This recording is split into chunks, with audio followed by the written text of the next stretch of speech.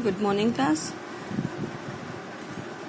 Today we are going to discuss about impact of globalization in india. India के impact क्या रहे? Okay globalisation के. जैसे कि एम यहाँ पर आने लगी. At the point of view consumer अगर हम देखते हैं तो एक तरह से पॉजिटिव इम्पैक्ट रहा. क्यों? क्योंकि पहले हमारे पास चॉइस नहीं थी प्रोडक्ट्स में इतनी. लेकिन जब से एम आई हैं आप एक अगर आपने रिस्ट वॉच ही लेनी है आपके पास एक से एक ब्रांड की आपको अवेलेबल हो जाएँगी फॉरेन ब्रांड की अवेलेबल हो जाएँगी। सो ग्रेटर चॉइस आ गई। इम्प्रूव्ड क्वालिटी क्योंकि जो यहाँ पर लोकल कंपनीज़ थी वो भी क्या करने लगी कंपटीशन के चलते अपनी आ, मतलब जो प्रोडक्ट की क्वालिटी को बहुत ज़्यादा इम्प्रूव करने लगेगी ताकि उनका प्रोडक्ट भी क्या हो सेल आउट हो। ओके लोअर प्राइस प्राइस क्या हो गया? लोअर हो गया, जितना कंपटीशन होगा प्राइस क्या रहेगा? कम रहेगा? हाई स्टैंडर्ड ऑफ़ लिविंग अब जिन लोगों के पास ये नॉर्मल प्रोडक्ट्स नहीं भी होते थे, वो लोग क्या करने लगे? उनको लेना जैसे चाइना से चाइना चाइनीज़ मोबाइल आए थे बहुत टाइम पहले। उनके रेट बहुत कम थे। तो जो लोग फ़ोन अफोर्ड भी नहीं कर पाते थे, उन, वो लोग भी क्या करने लगे? फ़ोन लेने लगे एक तरह से। ठीक है तो एक ultimately high standard of living हो जाता है, ठीक है? At the point of view producer and country country के तरफ़ से अगर आप देखें तो क्या होगा कि फॉरेन इन्वेस्टमेंट हो रही है? ओके? यानी कि फॉरेन का पैसा हमारी कंट्री में आ रहा है। एम्प्लॉयमेंट एम्प्लॉयमेंट मिल रही है सबको।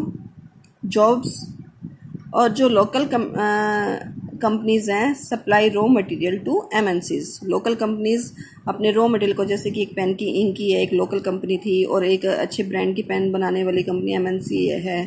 तो वो क्या करने लगी अपने रॉ मटेरियल को यहाँ से, उस एमएनसी में सप्लाई करेगी विद मतलब ऑब्वियस है कि रेट वो ज़्यादा ही देगी उनको।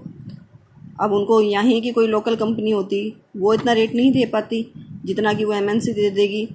तो एक तरह से जॉब्स हो गई एम्प्लॉयमेंट नेक्स्ट इज़ टेक्नोलॉजी अब फॉरेन कंट्री फॉरेन कंपनीज़ आ रही हैं, अपने साथ न्यू न्यू टेक्नोलॉजी लेके आ रही हैं तो वो हमारे पॉइंट ऑफ़ व्यू से भी अच्छा है कि भाई जो यहाँ की लोकल कंपनीज़ हैं, उनको, उन टेक्नोलॉजी को जानने का मौका मिल रहा है एक्सपेंशन ऑफ़ मार्केट मार्केट बहुत वाइड हो गया है, बढ़ गया है.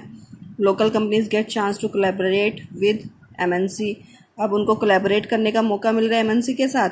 जैसे कि मैंने आपको बताया था पहले भी कि भाई पार्टनरशिप कर लेती हैं एमएनसी लोकल कंपनीज़ के साथ। अब लोकल अब मान लीजिए कि एक कंपनी आई है, बाहर से, उसकी वन थाउज़ेंड करोड़ की इन्वेस्टमेंट है, और किसी कंपनी के साथ उसने कोलेबोरेट कर लिया तो उस कंपनी के पास तो एकदम से वन थाउज़ेंड करोड़ रुपीज़ की इन्वेस्टमेंट उस कंपनी में भी तो हो गई ना।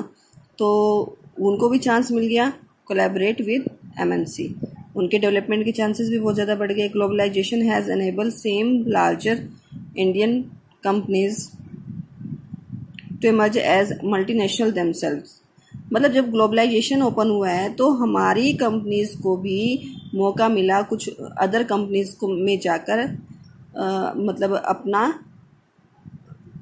मतलब अपने प्रोडक्ट को वहाँ पर सेल करने का कंपनी सेटअप करने का लाइक टाटा मोटर्स होगी इन्फोसिस होगी ये मल्टीनेशनल हमारे यहाँ की इंडिया की कंपनी फॉरेन कंट्रीज़ में भी हैं।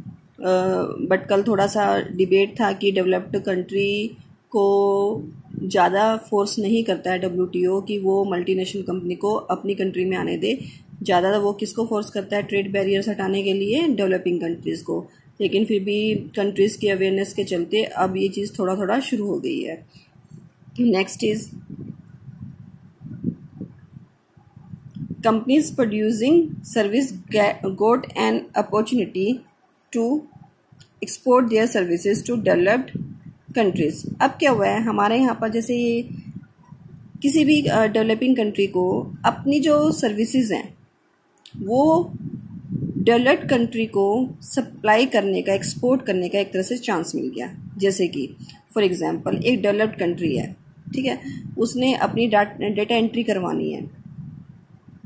अब वहाँ पर उनको ये डेटा एंट्री बहुत कॉस्टली पड़ रही है, क्योंकि जो वहाँ के एम्प्लॉयज़ हैं, वो ज़्यादा सैलरी की डिमांड करते हैं। तो अब वो वहीं के वहीं ऑनलाइन ये काम कॉल सेंटर के थ्रू कहाँ से करवा रही है? इंडिया के थ्रू गुरुग्राम में है आईबीएम कंट्री है सॉरी आईबीएम कंपनी है कॉल सेंटर ही है। तो वो ये अब डाटा डेटा एंट्री कहाँ से हो रही है? इंडिया से हो रही है, ठीक है? अब यूएस की कंपनी का काम क्या था कि उसने अपना डेटा एंट्री करवानी थी? अब वहाँ वालों को कोई मतलब नहीं है कि वो डेटा एंट्री यू मतलब यूएस उसी कंपनी के एम्प्लॉय कर रहे हैं या फिर इंडिया के कर रहे हैं। अब यूएस कंपनी को क्या हुआ कि कम सैलरी पर उनकी डेटा एंट्री हो गई?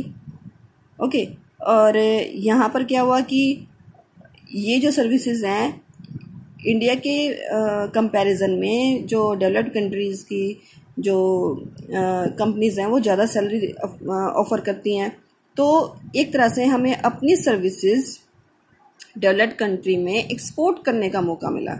लाइक किन कामों के लिए? डेटा एंट्री हो गया अकाउंटिंग हो गया एडमिनिस्ट्रेशन टास्क हो गया एक्सेट्रा ओके अब कुछ देखते हैं ड्रॉबैक ऑफ़ ग्लोबलाइजेशन अब ये जितना भी सिस्टम हुआ, ठीक है, जिन्होंने कोलेबोरेट कर लिया कंपनी लोकल कंपनीज़ ने एमएनसी के साथ, वो तो ठीक है, लेकिन बाकी भी तो कंपनीज़ थी। उनका क्या होगा? जो यहाँ पर भी बड़ी बड़ी कंपनीज़ थी ऑब्वियस है बड़ी बड़ी कंपनीज़ के साथ ही कोलेबोरेट करेगी। लेकिन जो स्मॉल जो कंपनीज़ थी, उनको ज़्यादा बेनिफिट नहीं हो पाया। ना ही ये ग्लोबलाइजेशन से पॉवर्टी की प्रॉब्लम सोल्व हो पाई। क्योंकि जो रिच थे, वो और रिच होते चले गए। ठीक है? Fail to solve the problem of poverty only rich and educated class has benefited from globalisation, okay? Workers jobs are not longer secure. Workers बहुत मिल रहे हैं तो एम में काम करने के लिए तो एक तरह से वर्कर्स को अपनी जॉब जॉब की सिक्योरिटी नहीं रही। Create challenge create challenges to small producer बताया ये कि जो लोकल जो छोटे छोटे प्रोड्यूसर थे, उनके लिए ये चैलेंजेस सामने आ गए। तो मैं इनके वेरी शॉर्ट के वन टू फाइव क्वेश्चन जो है सेंड करूँगी इस वीडियो के साथ। जब इसकी पिक सेंड करूँगी तो आप लोग वो अच्छे से रिवाइज कर लेना। आई होप आपने वेरी शॉर्ट क्वेश्चन जो है रिवाइज कर लिए होंगे। और कल न्यू टॉपिक देखते हैं। Till then bye